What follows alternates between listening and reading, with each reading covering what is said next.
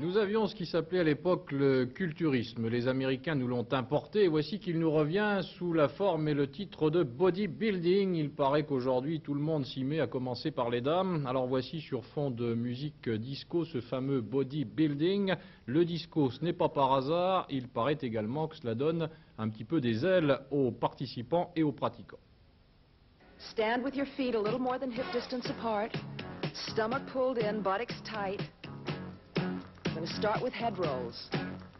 To the right, head back and left, forward, head right, back, left, forward. Now reverse, head back, right, forward, head left and back, right, forward. Now shoulder lifts right, lift and left, lift and right,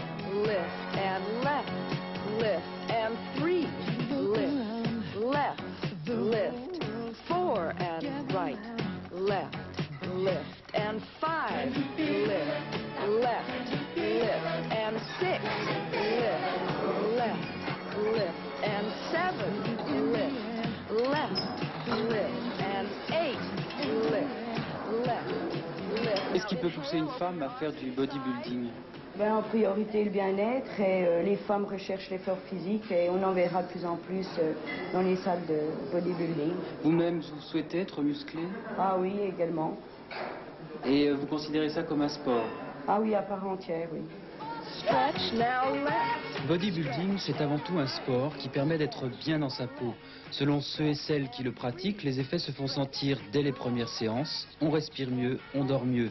Mais en ce qui concerne la ligne, les résultats ne sont pas toujours à la hauteur des espoirs. Si l'on veut vraiment perdre du poids grâce au culturisme, mieux vaut y associer une alimentation équilibrée, voire même un régime. D'ailleurs, l'équipe du club a une formule qui résume tout.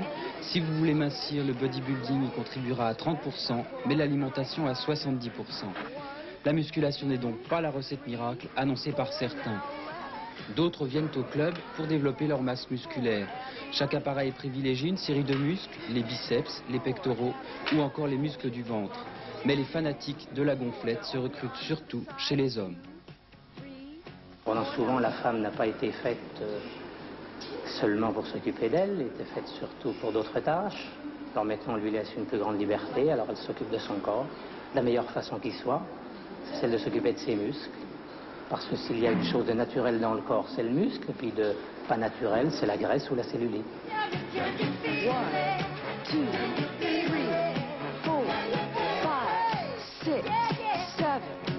Now bend your knees, reach way out, and swing through.